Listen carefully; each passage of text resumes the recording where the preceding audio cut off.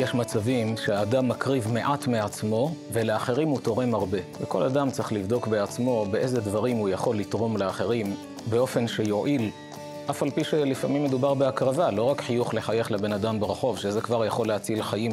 אדם שמרגיש שהוא לא שווה ולא טוב לו, לפתע פוגש חבר, מחייך אליו, מראה לו שהוא שמח לפגוש אותו, נותן לו מילה טובה, טפיחה על השכם, מחיה אותו.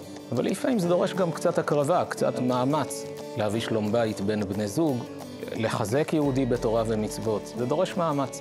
אבל תמיד תשווה מה אתה משקיע וכמה אתה תורם לאחרים. פעמים שההשקעה הקטנה שלך יכולה להציל לאחרים את החיים.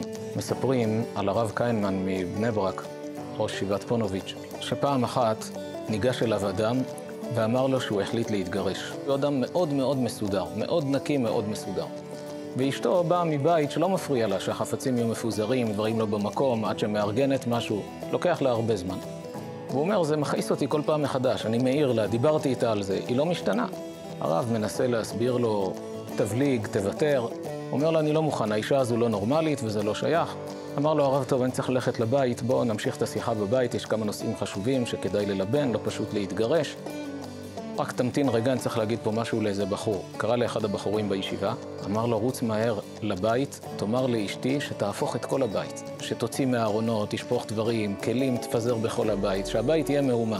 והבחור הזה רץ לדרכו, האדם הזה לא שמע מה אומר לבחור, והרב יוצא איתו לאט לאט, צועדים בדרך, עבר כמה רחובות עד שהגיע לבית, נכנסו שניהם, האדם הזה יושב ליד השולחן, מסתכל על הבית של הרב ולא מאמין למראה עיניו. הבית שלו עם כל המהפכה, נראה כמו ארמון לעומת הבית של הרב. כל הכלים מפוזרים, בגדים על הכיסאות, על הספות, והרב מדבר איתו, לא אומר לו כלום על הבית שלו.